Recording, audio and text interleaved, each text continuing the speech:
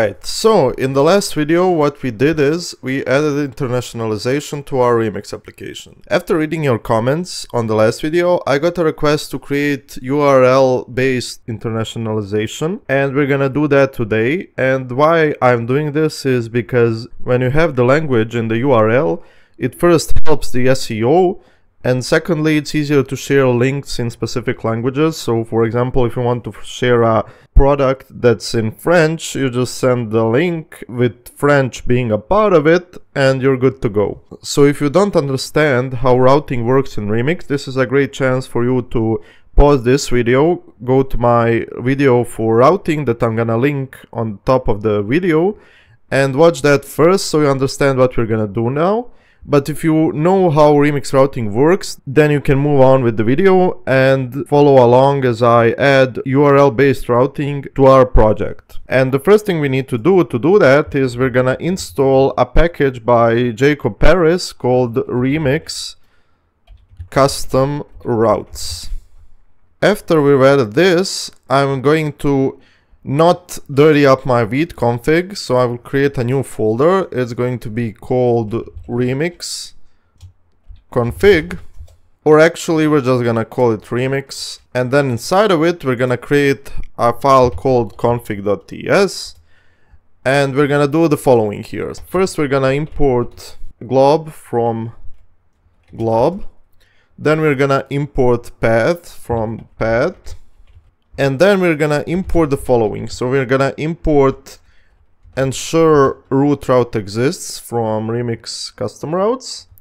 We're gonna import get route IDs and get route manifest. Now that we have our imports we're gonna do the following.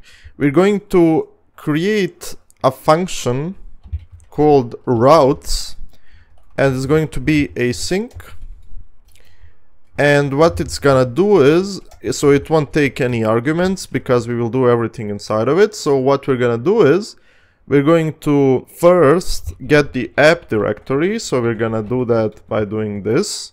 We're gonna use the node path module to get the directory name and app. So this is the current working directory and we append the app to it then we're gonna ensure that the root route exists in the app directory. And after that, we're gonna make sure that we get all the route files. We're gonna use glob for this and we're gonna sync. We're gonna say routes, so the routes folder, and then everything that's JS, JSX, TS, TSX, Markdown, and MDX. And then what we're gonna do is we're gonna say that the current working directory is the app directory. So what this is gonna do is it's gonna get all the files inside of the routes folder and then we will do something else with them. What we're gonna do now is we're gonna create route IDs and how we're gonna do that is we're gonna call the get route IDs with the files we found so all our routes. And this takes another argument that's going to be the index names. So what this is it basically tells the getter here what our index file convention is. So it's index. So because we're using v2 it's going to be index route underscore index and underscore route. Alright, so now that we've done that, we have gotten all the route IDs, and this returns a tuple, and that tuple is going to be the following. It's going to be the ID of the route, and then the file path to the route.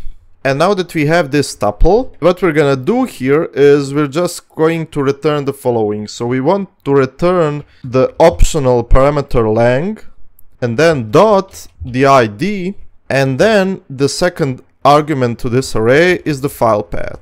And this will return a tuple where the first argument is the ID of the route plus this and then the file path. And then we're gonna return get route manifest and we're just gonna give it the route IDs we created. So this is complaining that the argument of type string array array is not assignable to this. So what we're gonna do here, we're just gonna cast this. So this should be fixed by the package itself soon. but basically this is gonna return this tuple so we know it's a string string tuple and we can just safely cast it here. And this is gonna return our new route manifest and we're gonna export this. And then we're gonna go back into our Vite config. Alright so now that we're here we're gonna import the routes from our remix config. Oh whoops. This is gonna be slash config. And then we're gonna open up this object and give it the routes. And we're just gonna delete this so and save it so it's in in line. And that's pretty much it. We've implemented url based internationalization. Now you might wonder how does this work? And it's not possible for it to be this easy. Well it is. Let me show you how it works. Well, actually, we have to do one more thing, and that is we're gonna go to the root TSX here. So, because we've added an optional parameter here, what we can do is we're gonna say params here, and we're gonna do this. So, const language is equal to params language as strings or undefined. Because params will take all the params on the current page it's going to have the information on the language. And if I say here, language or await get locale and save this, and if I now run it, I get could not find a root route module in the app directory. Oh, and that's because in our remix config here, we use the directory name here, and we're just gonna change this to process current working directory. And that basically resolves to your current working directory which is the root of this project. And the app directory is in the app so this is gonna work. And if we clear this again and then run it again it works. So one more thing I'm gonna add to the Vite config is we're gonna change well actually I'll add two things. So the first thing is the server. Both of the configs I want to add are in the server. There's two of them. So the first one is open and I'm gonna set it to true. So what this does, it basically opens up, so when you run npm run start or dev, whatever your command is, this is going to automatically open up the browser for you without you having to manually enter localhost 3000. And then we're gonna change the port from 5173 to 3000. And we're gonna save this, and now we can see it changed to 3000, and if I open it up, we will see the following. So we have the English and the Bosnian language switcher from our last episode. But now if I do something like this, we're gonna see that the page is in English. And if I change it to Bosnian, the page is in Bosnian.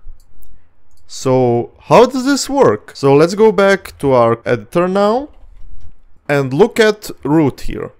So because the parameters reads the language in the URL, it's going to use that one instead of the locale that's gotten from the request, and it's gonna pass it back to the client. And on the client, we're gonna change the language to whatever the locale is. So because we change it by changing the URL, it's going to change on the client as well. This is enough to change the language, but we have an issue.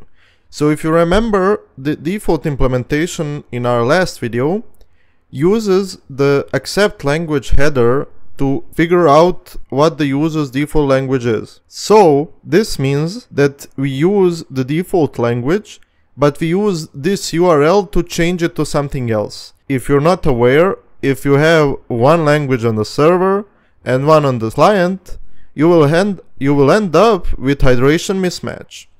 So how can we fix this? So the first thing we're gonna do is we're gonna go back to our resource.ts file. Look at this. So this is the supported languages here. What we're gonna do is we're gonna create a helper utility function called return language if supported.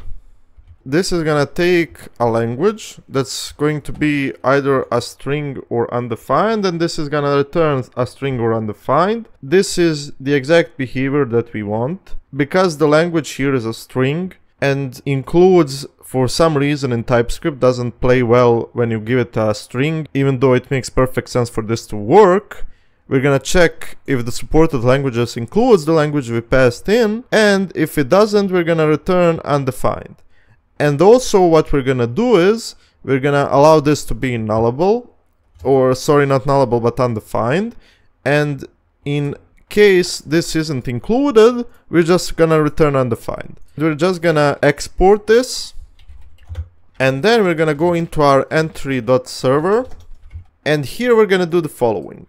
So first of all, we want to grab the URL. So the URL, we're gonna create a new URL instance and this helper allows us to get the path name from the URL.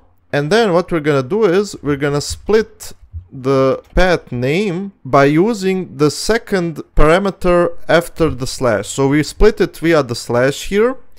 And because the path name starts with something like this, so English and then slash, we split this up and the first part is gonna be an empty string because it's before this and then the second part is this. So we want the start of the URL that's not a slash and then we get it via this and then here inside of here we're gonna say return language if supported and we're gonna give it the language and if this returns undefined, which means it's not a valid language or there's no language in the URL, we're gonna get the default one from the browser. And then inside of our root file, we are going to do the same thing. So here we're gonna say re return language if supported and we're gonna give it the params.lang and we're gonna import this from localization. And we're gonna save this. And if I head back to my browser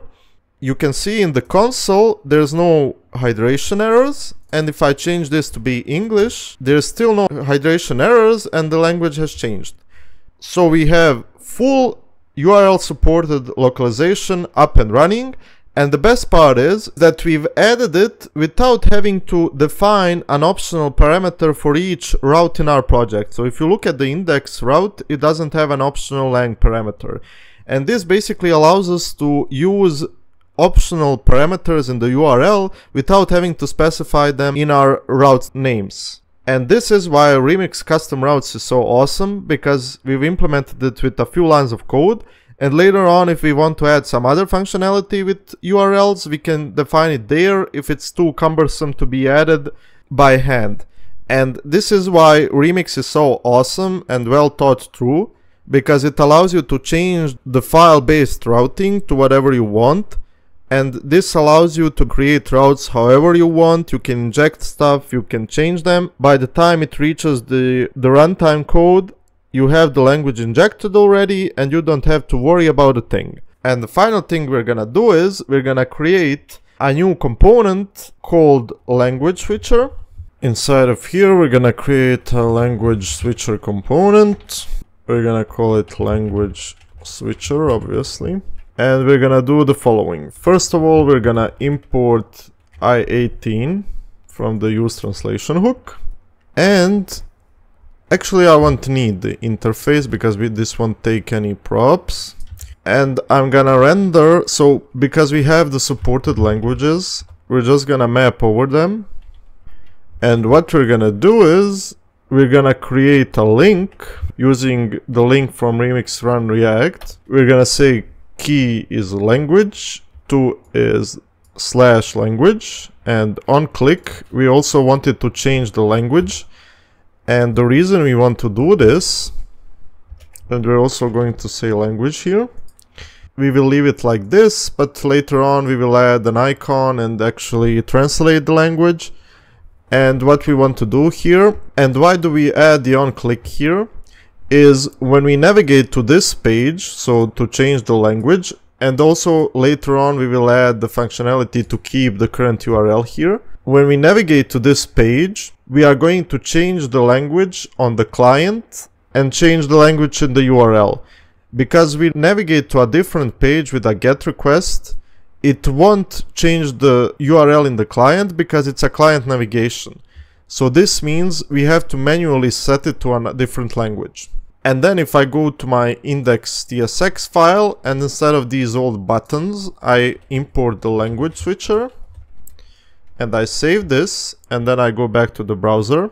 We have these two buttons. So when I click on Bosnian, it changes the language. When I click on English, it changes the language.